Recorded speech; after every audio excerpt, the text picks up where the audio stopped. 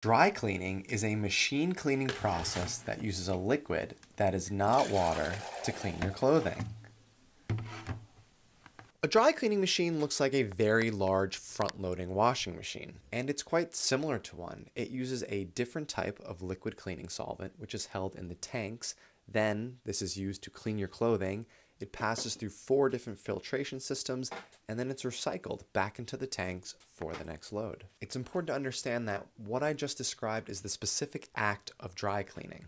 However, a dry cleaner uses many different types of cleaning processes to handle your clothing. For example, sheets and men's shirts, which are cotton, are cleaned in water, and this is called wet cleaning.